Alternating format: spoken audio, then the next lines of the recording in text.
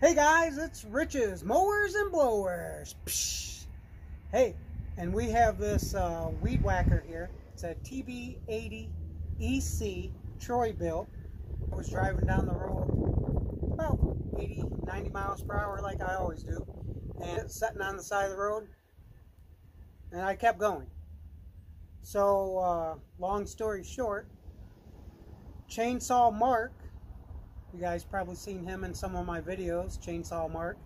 He actually stopped and picked this up and it ended up over his house. Well, Chainsaw Mark ended up giving it to me. So the head, he said, doesn't spin. So if you're having this problem, the head's not spinning, then stay tuned.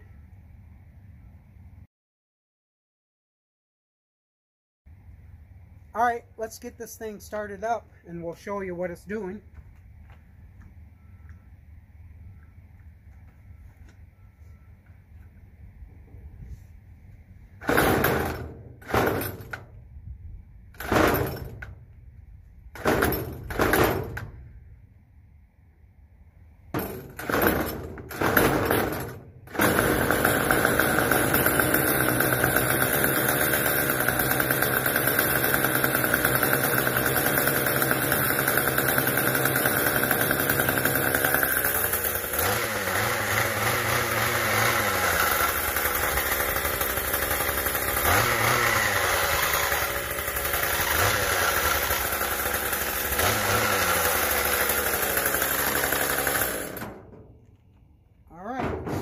Head is not spinning at all.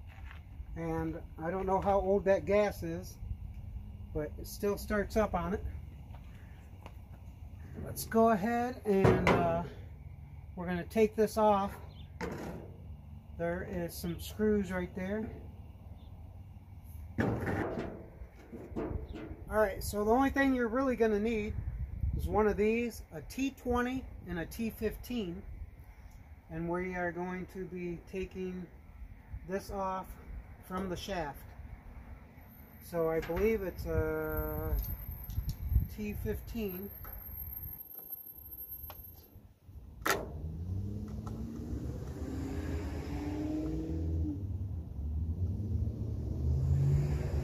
Now once we get this out of there, you should be able to twist this right off.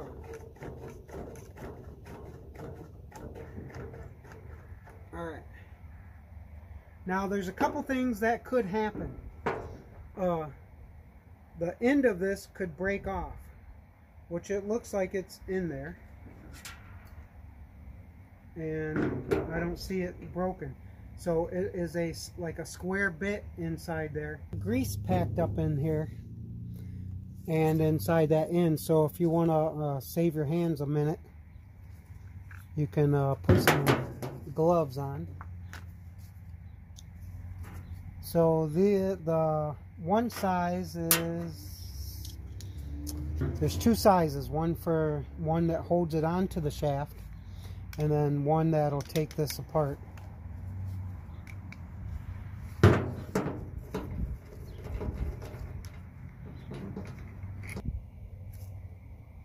We can take this actually apart. So let's kind of uh, zoom in here, see if we can get a good shot of it.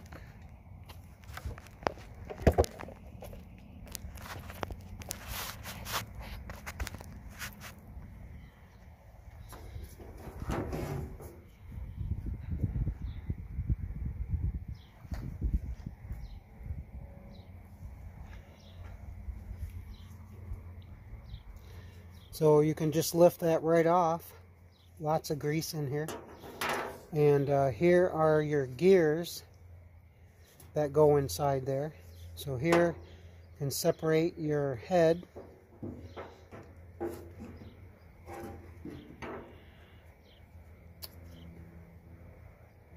So sometimes this right here can wear out and not be square anymore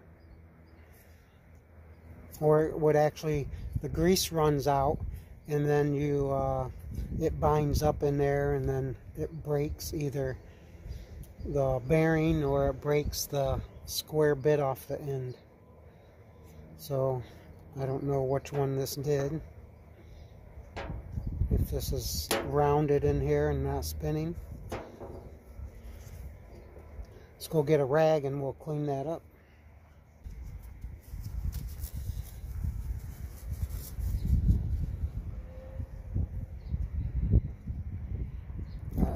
So that'll pull right out. Go ahead and see if that square is still square.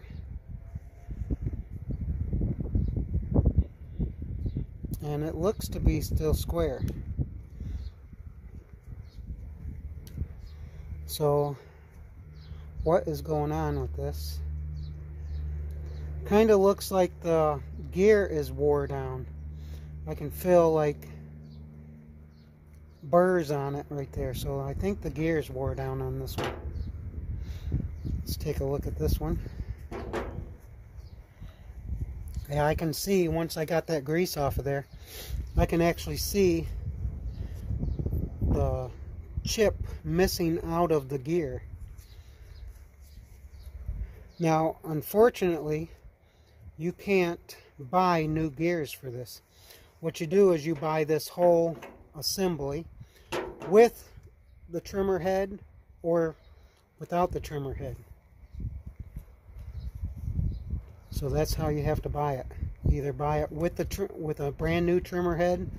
Now this does come off, so you can detach this here and keep your trimmer head, and then just buy the the gear set on it. But we're not going to do that because we have a bunch of old ones laying around and uh, we're gonna go ahead and put on a whole new system right on this one. So here is one I found in my pile of stuff. Now this is a straight shaft so you'll kind of need one that's curved the same way. And uh, as you can see it's curved just about the same way. Now it's a little bigger and it looks like it has this attached to it. And it already has a head on it. The gears are working. All right let's go ahead and uh, fit it on there. See how that goes. Now I'm going to go ahead and put some grease in here. I'm going to go ahead and put some grease on the end of that other one so we'll have some.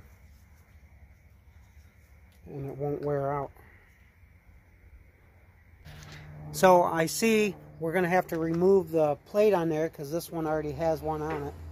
And I'm not going to try to take all this off to keep that one on there. I guess I could, but I don't know. I think we can just pop that whole thing on there and be done with it. Take this, take that other one off. We'll use it on another machine. That's coming off with just a Phillips screwdriver. And I did notice something up here I'll show you in a minute. So I'll take these two bolts that are holding that on there off and your shield will come right off. So if you ever break your shield and replace one, that's pretty much how you do it. Take off a couple screws, go get your new shield and put it right on. Now, as I said, this one seems to be pop riveted on there.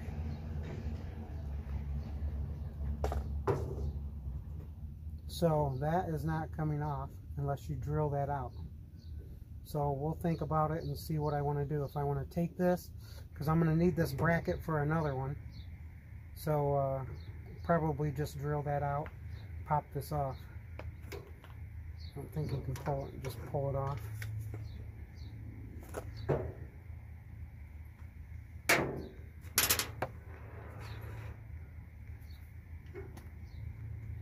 Let's go ahead and fit it up here. Now your square bit will go in there and just kind of you can spin this you can spin this around to uh, get it inside there.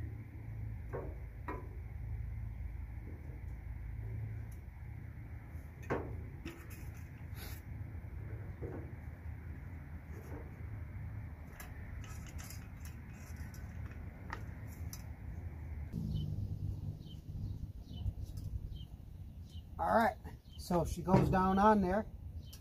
Now all we have to do is tighten it up.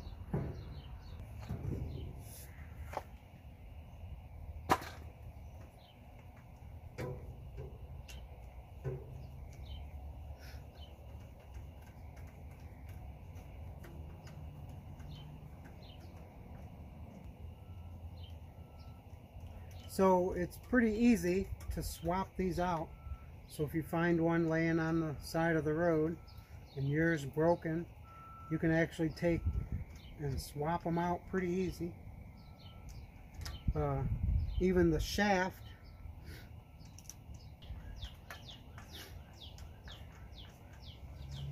and then this is the one that holds it actually on to the shaft so make sure you get that one in there good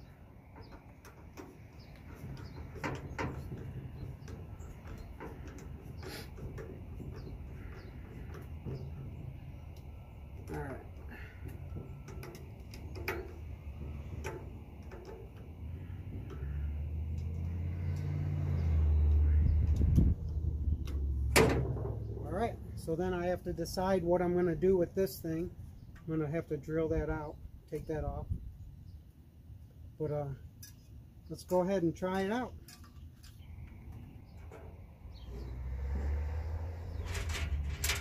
Got all our parts and pieces from the old one here. We're going to save that in case if we need something later on down the line. Let's go ahead and get it started.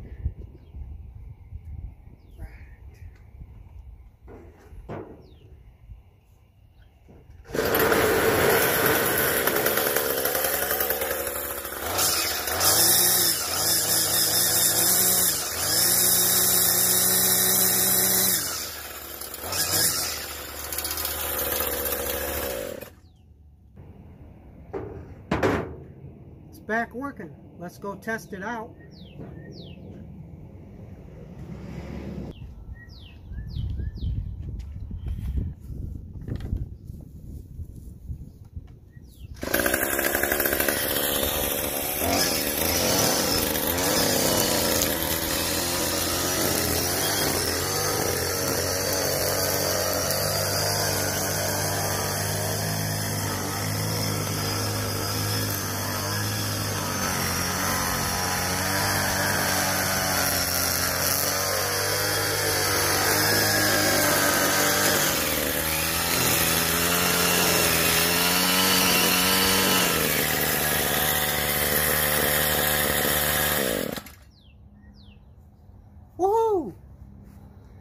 There we go, ready for action.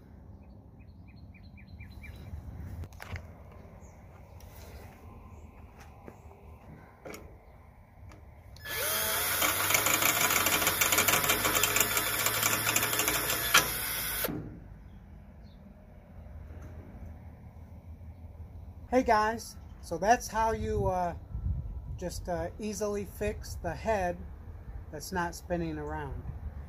Now, if you wanted to go on, say, Amazonian and or Fleabay, you can uh, get those that are made exactly for this. They're about $25. So I just saved me $25 by taking one off of the end of another weed whacker that didn't work. So hey, this is Rich's Mowers and Blowers. Psh, and we'll see you next time. Thank you.